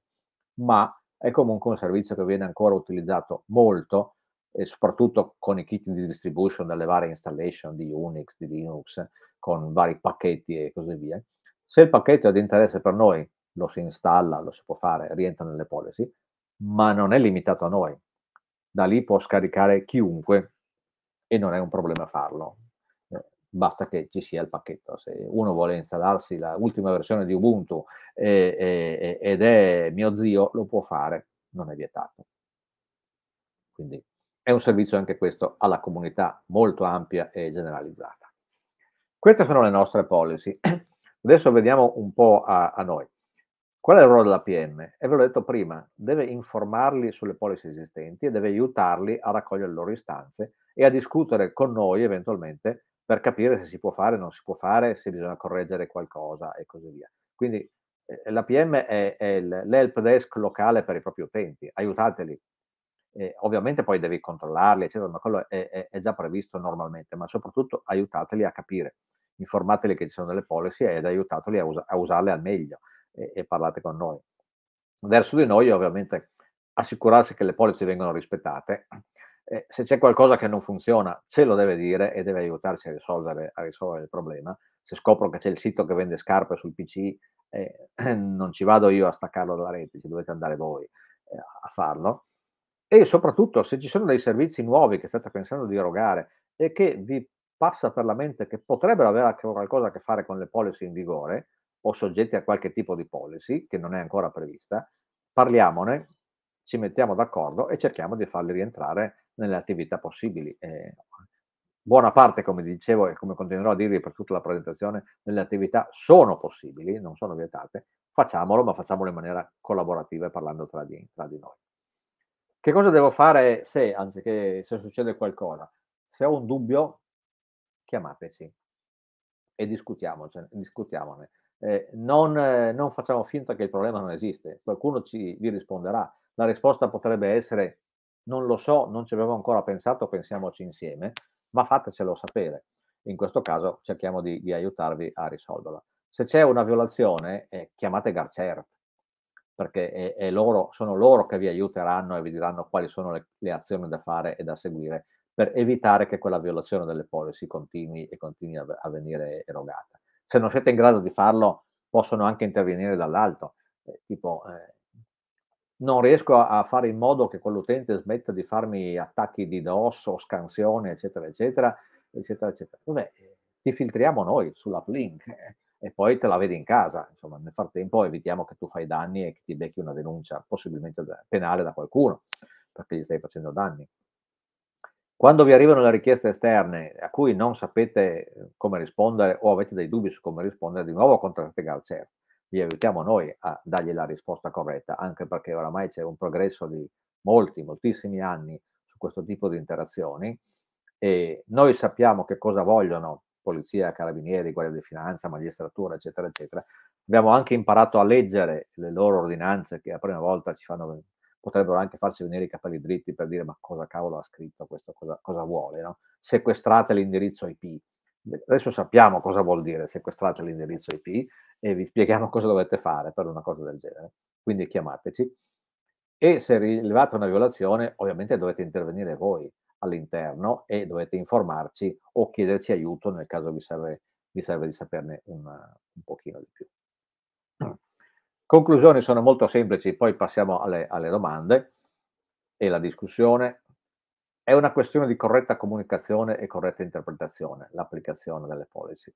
Cioè, bisogna innanzitutto sapere che ci sono e poi saperle come interpretare, senza bisogno di ricorrere ad avvocati o ad altro. Noi siamo qui per aiutarvi a fare questo, anche perché non tutti i casi sono uguali. In alcuni casi serve essere più restrittivi, in altri casi bisogna essere totalmente open, in certi casi proprio non è un problema di policy, not applicable, non c'è il problema, fai quello che vuoi, in altri casi non lo fare perché proprio non lo devi fare, ma è una questione di comunicazione, discutiamone quando avete un minimo di dubbio e non date per scontato un'interpretazione solo perché vi è venuto un dubbio. Eh, parliamone perché eh, le policy del GAR, ma di anche tutte le altre reti della ricerca, hanno come principio di base il principio del diritto anglosassone, non quello latino. Si basano sulla giurisprudenza, non sui testi scritti. Quindi se un caso comune è stato trattato in un certo modo prima, verrà trattato altro, nello stesso modo sempre. Ovvio che devono essere conformi alla legislazione, ma quando non c'è la legislazione di mezzo è il precedente che fa la legislazione. Se dopodiché i precedenti hanno una deriva che ci porta a dei problemi, correggeremo la cosa nel corso d'opera, ma non è quello il problema vero da, da, da affrontare. Il ruolo del GAR e degli APM è quindi quello di collaborare per fare in modo che i servizi che abbiamo funzionino. Noi dobbiamo dare servizi all'utente nel miglior modo possibile e fare in modo che siamo tutti assieme. Quindi parliamoci. Io adesso mi zittisco e lascio parlare voi con le vostre domande. Quindi questi sono i modi per comunicare con noi, vice di nuovo il menti che avete avuto sotto la presentazione per tutto il tempo. Siamo qui. Vediamo quali sono le domande e Eccoci Gabriella qua, mi farà dare. Buongiorno a tutti, eh, abbiamo già un bel po' di domande, quindi iniziamo subito perché le curiosità sono tante. Allora, la prima, eh, la eh, nave da ricerca italiana Laura Bassi, credo possa essere un esempio di difficoltà di gestione della connessione tramite GAR. Eh sì, assolutamente sì, anche perché di solito se ne naviga dalle parti dell'Antartide, eh, è collegata quando va bene via, via satellite, ha diritto, tutti i diritti di utilizzare tutti i servizi e dal punto di vista tecnologico non tutti i servizi riescono a funzionare bene. Vi faccio un esempio molto banale, la videoconferenza quando si va via satellite ha due secondi di ritardo. Funziona, ma è un walkie-talkie. Ma sicuramente è il tipico esempio che vi ho fatto prima che non è la sede che ha diritto di utilizzare la rete gara, ma è l'istituzione, in questo caso è l'OGS. L'OGS sta in mezzo all'Antartica, in mezzo all'oceano, e sì, ha diritto di usarla la rete gara e noi dobbiamo aiutarlo. Passiamo alla domanda successiva. Nel caso di segnalazione da parte di GarCert di download di materiale coperto da copyright, esempio via torrent, scaricato via torrent, da parte di un utente collegato alla rete GAR, che responsabilità può avere l'APM? Allora, È una domanda molto gettonata a 6 like, quindi allora, interessa la, parecchie la, persone. L'APM normalmente ha come unica responsabilità intervenire con l'utente per fare in modo che quel materiale sparisca dalla macchina su cui è, è presente. Non ha nessuna responsabilità penale perché è, è, l'utente che ha fatto la violazione di copyright, non lui, però la PM nei nostri confronti deve andare lì, staccare la macchina dalla rete e cancellare e probabilmente inform- e ovviamente informare l'utente che non lo deve fare. Ma quella è la responsabilità che noi ci aspettiamo. Se l'APM non lo fa, noi quella macchina la blocchiamo a livello IP blocchiamo l'indirizzo IP, se ci riusciamo, perché se è un NAT non ci riusciamo. Quindi quella è la responsabilità unica dell'APM in tal caso, intervenire e togliere il materiale dalla macchina. Okay. Poi se lo vuole buttare nel canale, come una volta mi ha detto l'ex APM di Venezia, lo può anche fare, ma è quello che si dice non ha responsabilità diretta in senso legale. Esatto, quindi... Non ha responsabilità diretta, deve, ha una responsabilità tecnica, deve aiutarci a fare sparire il problema. Prossima domanda, se facciamo hosting di siti di associazioni più o meno istituzionali, autorizzati comunque dal nostro direttore, il GAR deve conoscerne l'esistenza anche se passa dai nostri IP pubblici? Sì, questo rientra nel, nel, nelle cose che dobbiamo, dobbiamo sapere, dobbiamo sapere che esiste anche perché in quel caso viene semplicemente detto all'istituzione che li ospita o sei totalmente responsabile di quello che fanno e te ne assumi a pieno tutta la responsabilità, se non lo sei e sono un qualche cosa di, attori, di, di, di, di autonomo, parliamone perché forse dobbiamo fargli una convenzione separata. Ok. Altra domanda, reti wireless. Oltre all'autenticazione DROM abbiamo differenti reti ISP utilizzabili da dipendenti ma anche da studenti, visitatori e collaboratori esterni che non hanno EduROM, è consentito? Sì, sì, uno può avere tutti gli uplink che, che vuole, eh, non, non, è che devi utilizzare solo il GAR, anzi, se tu decidi di fornire una rete di un ESP perché così non hai l'obbligo di rispettare le AOP del GAR, ma puoi farci veramente quello che vuoi per quella cosa, lo fai, non è assolutamente vietato. Bisogna gestirla nella maniera corretta tecnicamente, quindi perché sei multi-home, eccetera, ma non è vietato. Un istituto che all'interno di una convenzione di collaborazione ospita all'interno dell'istituto stesso personale e macchine di una ditta esterna ha bisogno di regolarizzare anche nei, e questa è una prima parte della domanda, andiamo alla successiva.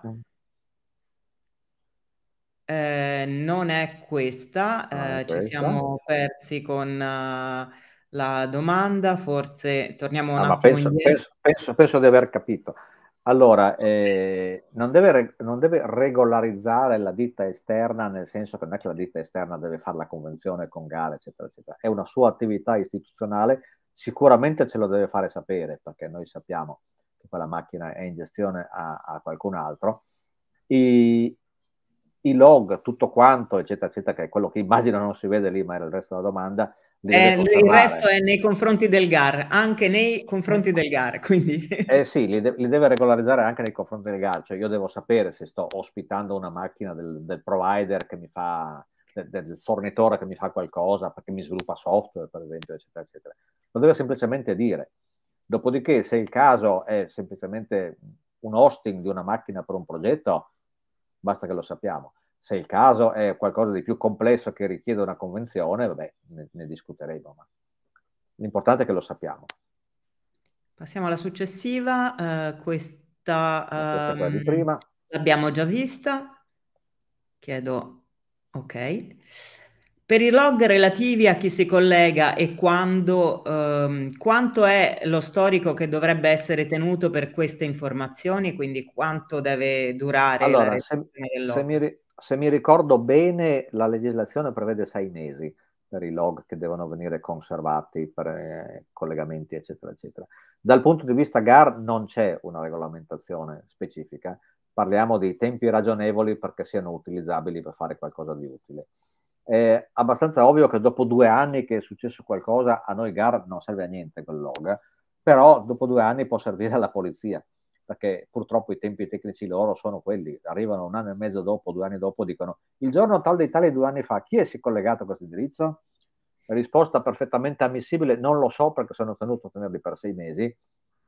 Se è ragionevole che io il log ce l'ho ancora, però vedrai un poliziotto che se ne va molto felice e ti ringrazia tanto, ma non sei obbligato a farlo. Qui è la famosa dus- disputa fra uh, indagini e privacy. Eh, che... Esatto. purtroppo è una cosa che, che dura da, da, eh, da non, è risol- non, è risolvibile non è... la disputa perché ovviamente a- entrambi hanno ragione. Se si può fare merchandising eh, per autosostenere le istituzioni, si possono generare criptovalute nei tempi morti idle dei CED usando la rete GAR? Allora, questa è una domanda a cui la risposta è non lo so, non ci abbiamo mai pensato. Eh, a primo acchito mh, Penso di no, perché ovviamente non è una delle attività istituzionali eh, principali delle, delle, istituzioni e soprattutto potrebbe non essere marginale, perché il guadagno potrebbe essere notevole. Quindi immagino che la risposta sia no, non si può fare. Ci pensiamo, ma credo che sia un, un no che verrà confermato.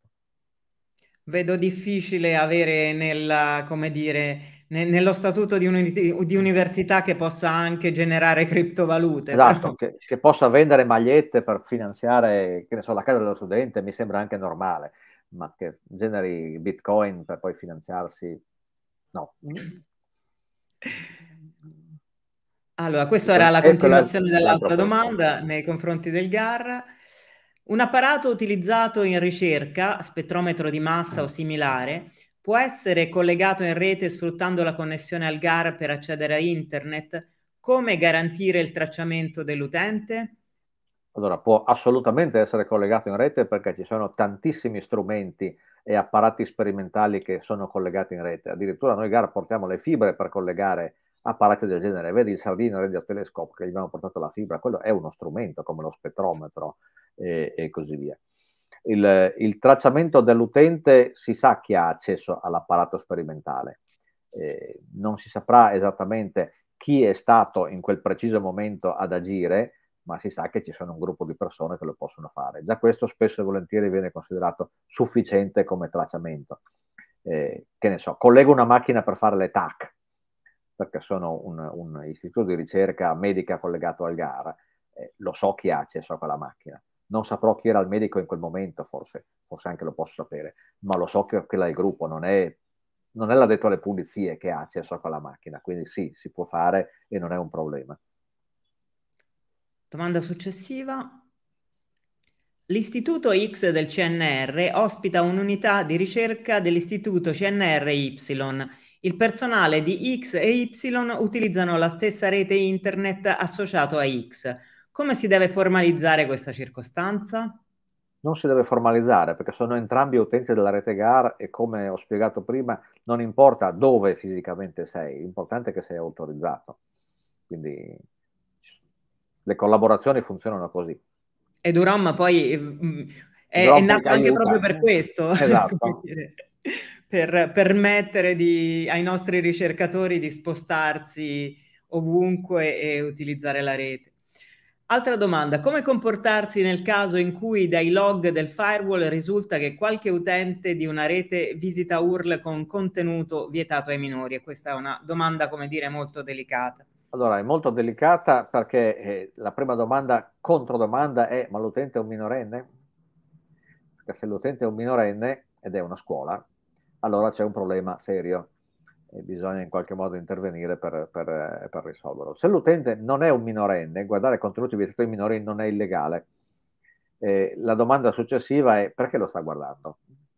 Perché vuole guardarsi il film porno nella sua pausa caffè o perché sta facendo una ricerca su quel determinato tipo di, di settore di attività, che comunque è un'attività commerciale legalmente ammissibile, eccetera, eccetera. Se è il secondo caso, ovviamente lo può fare, non, non si deve fare assolutamente niente se non accertarsi che stia facendolo per un'attività che gli compete istituzionalmente. Ovvio che se sono un, eh, un istituto di, che fa ricerca in cristallografia ho poche motivazioni per guardare un contenuto vietato ai minori utilizzando la rete gara. Però se sono un istituto che fa sociologia ce le posso avere. Ci sono stati vari casi in cui li abbiamo avuti ed erano perfettamente autorizzati. Eh, in alcuni casi limite, io stesso sono stato coinvolto molti anni fa, eh, si può anche poter accedere a contenuti esplicitamente illegali come pedopornografia, se si viene incaricati per esempio dalla polizia delle comunicazioni di collaborare ad un'indagine non c'è niente di illegale. Io andavo sui siti pedopornografici e cercavo di aiutare la, la polizia di Stato a, a, identificarli. Passiamo alla domanda successiva. Eh, sulla rete d'istituto è collegata la centralina antifurto gestita dalla ditta di vigilanza. Ci sono adempimenti? No.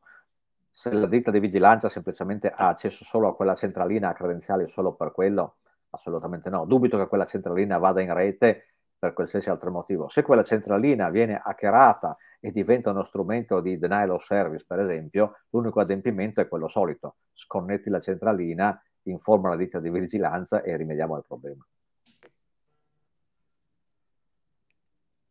È possibile eh, l'elenco degli indirizzi filtrati della propria istituzione? Se sì, come se ne fa richiesta? non solo è possibile, c'è, anzi il GARCERT normalmente lo fa, ogni tanto manda a tutte le istituzioni una per una, non solo su richiesta, ci sono questi indirizzi filtrati da tot tempo, mi dici cosa devo farne? Basta chiedere a GARCERT, anzi se lo fate GARCERT è molto felice, così si libera di roba vecchia. Vorrei ricordare inoltre che avremo successivamente un webinar eh, tenuto dai nostri colleghi del CERT che sarà dedicato completamente a tutte le tematiche che sono relative alla, alla sicurezza. Domanda successiva. Accesso a rete e servizi si può propagare EduROM in zone pubbliche come piazze, parchi, stazioni, punti di ritrovo di una città? La risposta è fatelo, non solo si può. Lo fanno già i comuni, fatelo anche voi. In base a quanto detto, confermate che gli spin-off, società a responsabilità limitata delle università, devono sottoscrivere singolarmente la convenzione con il GAR? Eh, penso proprio di sì. La cosa eh, sicuramente da fare è informarci che esistono. Dopodiché, essendo un'entità legalmente separata, lo devono fare. Molto probabilmente hanno tutto il diritto di utilizzare il GAR finché sono una spin-off, perché sono garantiti dall'università, ma dobbiamo sapere chi sono. Si parlava di identificazione dell'utenza collegata al GAR. Come comportarsi per gli accessi ai DUROM del tipo anonymous, chiocciola dominio stranieri? Dormire sonni tranquilli, perché EduROM è fatto apposta per usare Anonymous, per garantire il GDPR, la protezione dei dati, eccetera, eccetera, ma non c'è nessun problema a trovare chi è stato nel caso combini qualcosa. Voi semplicemente mandate il record del vostro radio server e chi è il proprietario di quell'indirizzo, di quell'attività, lo troviamo nel giro di un paio di giorni. Lo, lo segnalate a Edurom et Carity. Il ruolo della PM, eh, come si interfaccia con le gerarchie interne? Può operare in autonomia avvisando i suoi superiori?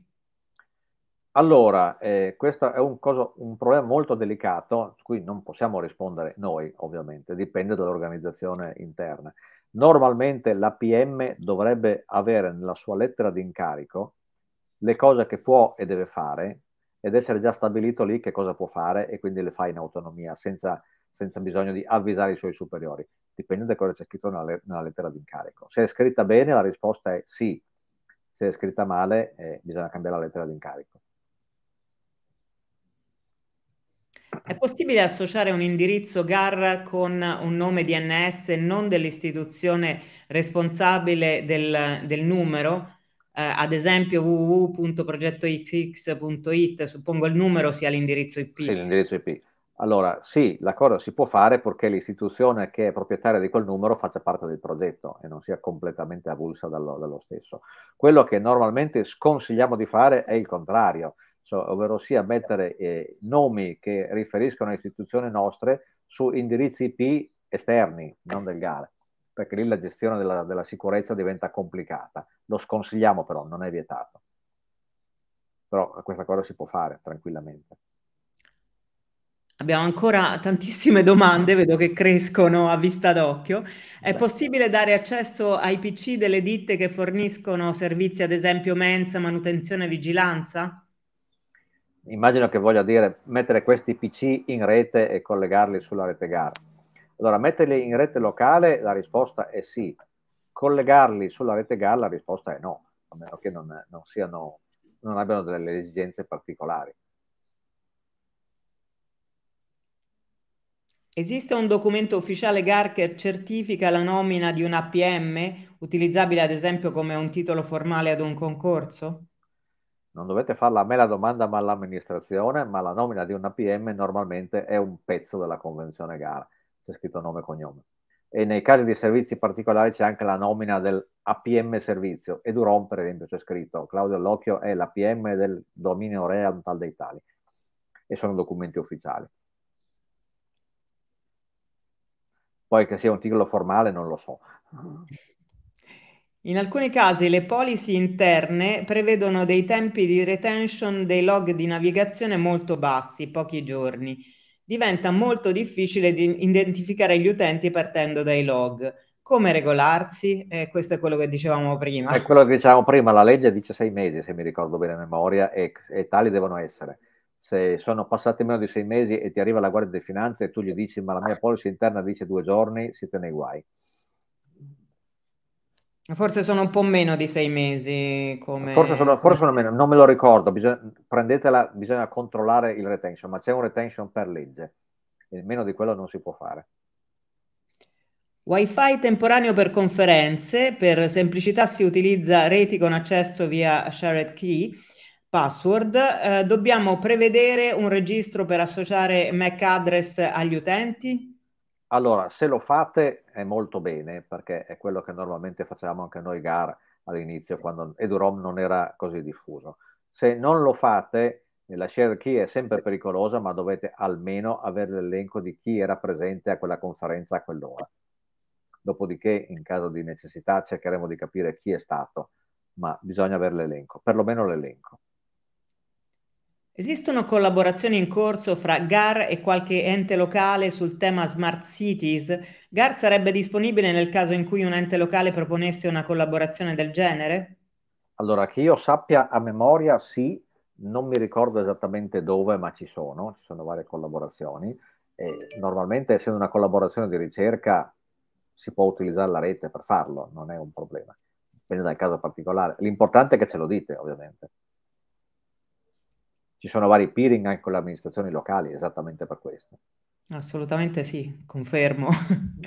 Cosa deve fare la PM nei riguardi di utenti che utilizzano diffusamente social media nel periodo lavorativo? Prevale la privacy? Allora no, prevale il regolamento di uso interno delle risorse informatiche, che è obbligatorio per legge. Dipende da cosa c'è scritto lì. E quindi non è che prevale la privacy. Il regolamento stabilisce certe cose e punto e basta. Il relatore o semplice ospite di un convegno organizzato in una sede connessa a GAR può avere accesso temporaneo alla rete GAR EduROM? Ovvero sia, traduco, possiamo dargli le credenziali EduROM temporanee? Eh, sì, lo abbiamo anche fatto in alcuni casi per semplicità d'uso, ovviamente le garanzie EduROM temporanee spariscono nel momento in cui l'utente se ne va, anche perché daremo accesso alla rete del mondo, non solo alla rete del convegno. Esiste un elenco ricerca degli APA come quello degli APM? Allora, nel database del GAR, sì. La, la, domanda è, esiste la tendina con cui cerco chi è il mio APA? Eh, a memoria mi sembra di sì, che c'è da qualche parte, però dobbiamo controllare. Se non c'è potrebbe essere utile farlo, però. Non mi sembra ci sia pubblica. Cioè, non so se mm. no, noi sicuramente lo abbiamo, se ci viene chiesto sappiamo rispondere. Non so se c'è il menu a tendina sul sito web, ecco, come l'APM invece c'è. Controllo rete e compliance con garante privacy e leggi. Non possiamo controllare, ma è insito nell'attività stessa che vediamo potenzialmente tutto il traffico. Dobbiamo informare gli utenti di ciò? Allora, normalmente fa parte della lettera di nomina interna dell'istituzione a, a, a, al ruolo che si ha. Quindi non bisogna informare gli utenti, ma è ovvio che lo si può fare, anzi lo si deve fare perché è, è il nostro mestiere quando lo facciamo. Non credo che bisogna informare gli utenti. Normalmente c'è un'informativa privacy di ciascuna istituzione che dice queste cose e si occupa di informare. Dice il responsabile del trattamento dei dati è questo, dice anche il responsabile della rete è quest'altra persona ed è implicito che gli utenti sanno che quella persona può vedere tutto, ma non può farci niente la PM può leggere anche tutti i mail se c'è il mail server, ma non è che lo, può, non è che lo fa se non lo deve. È possibile disporre di reti wifi guest che danno connettività internet tramite GAR agli ospiti dell'istituzione più o meno temporanei? Se sono identificati come tutti gli altri, sì, ovviamente. Non tutti hanno EduROM, gli potete creare un SSID conferenza di giovedì dargli l'accesso purché li registrate, perché sapete chi sono. E purché sia un convegno senso nella parte dell'istituzione, insomma. Non solo convegno, può essere, ne so, un'attività di ricerca, quello che dovete, dovete registrarli.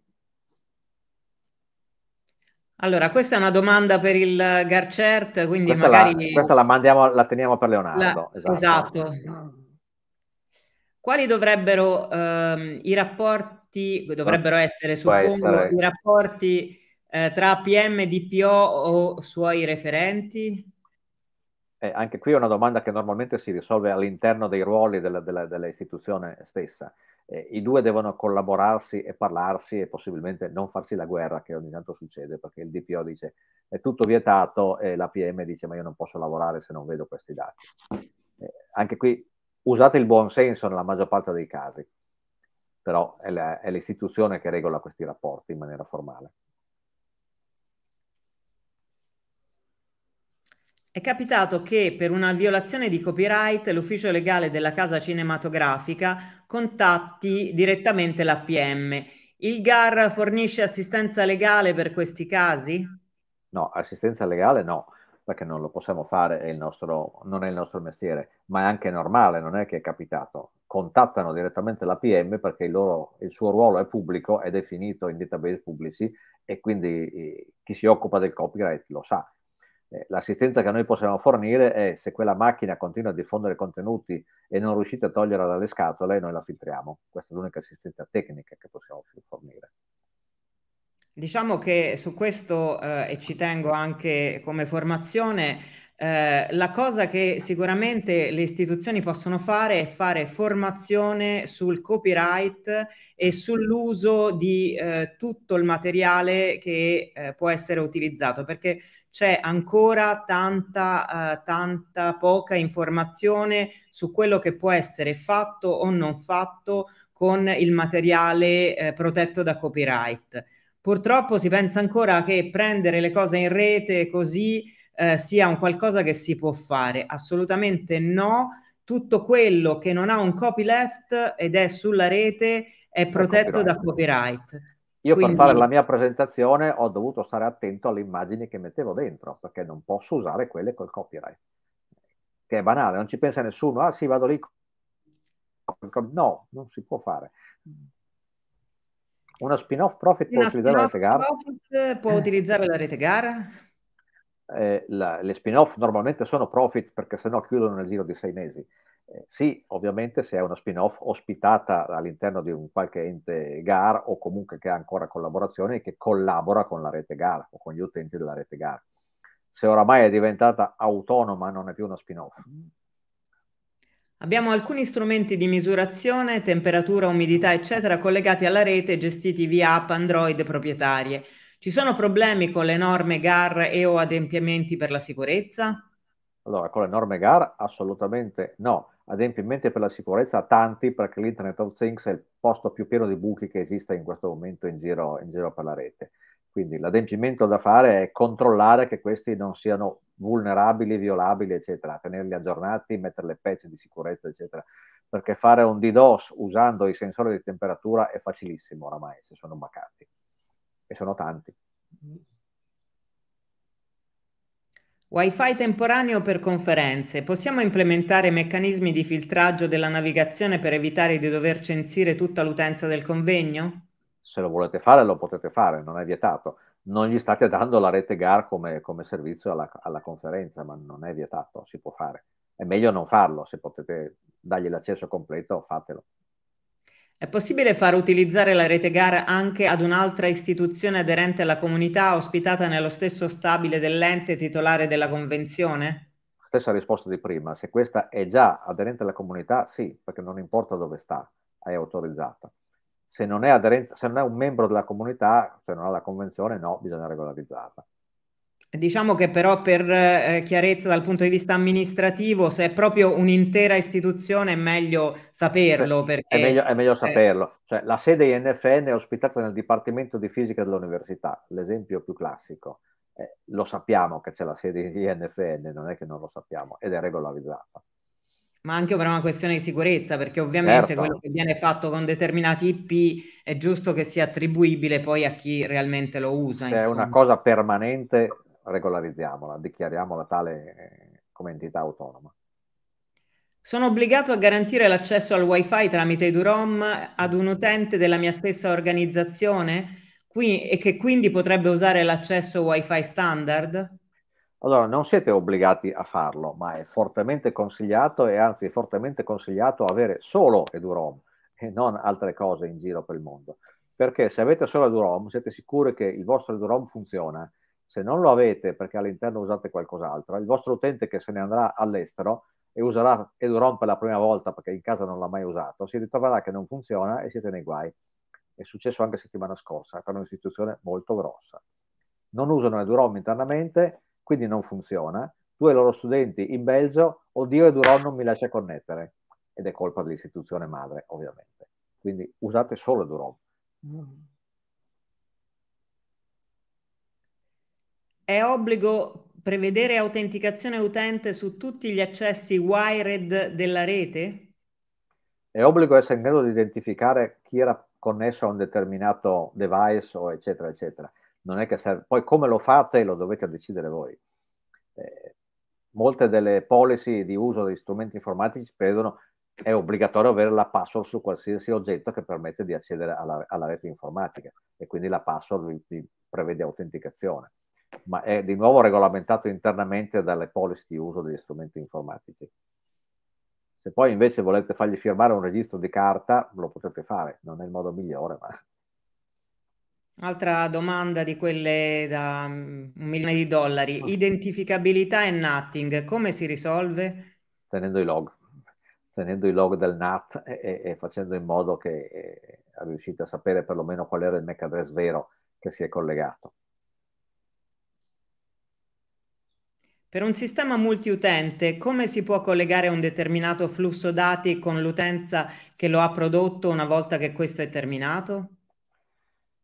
Sistema multiutente cosa vuol dire? Un, un qualche cosa che, che non ha un'identificazione personale per, per, poterci accedere? Eh, in teoria non dovrebbe esistere perché le password condivise, eccetera, eccetera, non dovrebbero esistere proprio perché non, non c'è l'identificazione fatto in questo modo.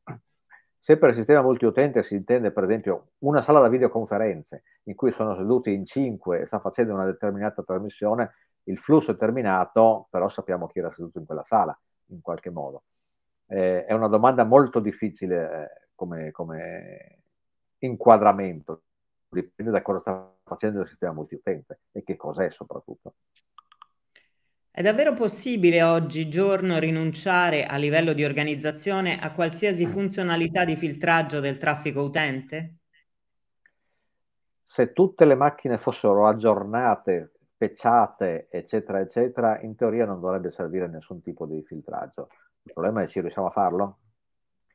È sconsigliato filtrare perché ovviamente azzoppiamo la rete e i suoi servizi, ma eh, bisogna fare un bilanciamento tra quello che si può fare e quello che si deve fare. Eh, non filtrare, per esempio, l'accesso dall'esterno verso centinaia di macchine vulnerabili perché non sono tenute aggiornate, eh, diciamo che è sconsiderato e quindi non, bisogna filtrarle.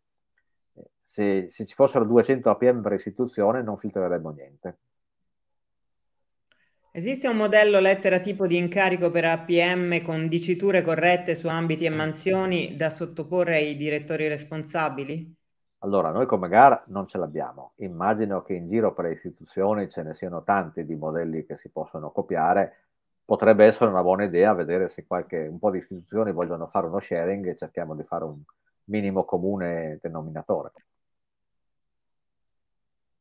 Come risolvere il problema degli IP pubblici? È ancora necessario dare IP pubblici agli utenti EduROM per dare EduROM a tutti gli utenti interni?